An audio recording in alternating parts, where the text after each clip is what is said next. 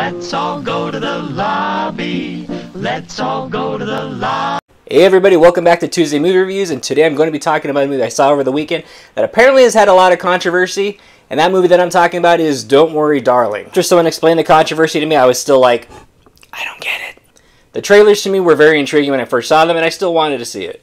When I first saw the trailers to this movie, I was like, ooh, I have an idea where this movie could be going and what this movie could be about.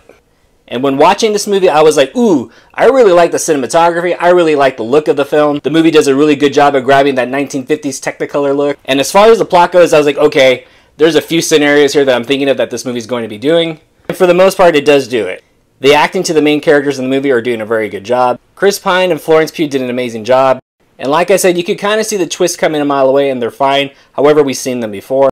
But the movie tries to add an extra twist, and I was like, okay, this movie's going up its own butt now. And you're probably like, Mike, what are you talking about? What do you mean the movie goes up its own butt? So we do get one twist, and it's like the main twist of the movie, but we kind of seen that already before, and you could kind of predict that kind of coming along, which is fine, because at that point you're like, oh, the movie's going to explain what that twist is and why, and all the things that go behind it, and I'm filling a lot of little holes that are in the movie. But then the problem is the movie adds an additional twist to go along with that, and you're kind of like, okay, now it's making more plot holes, and then the movie's almost over. How's it going to wrap it up? And the movie just wraps it up really quick. It's like, ta da!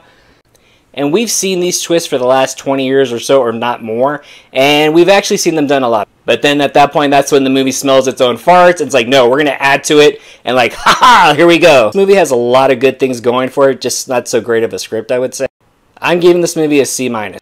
Get more out of life.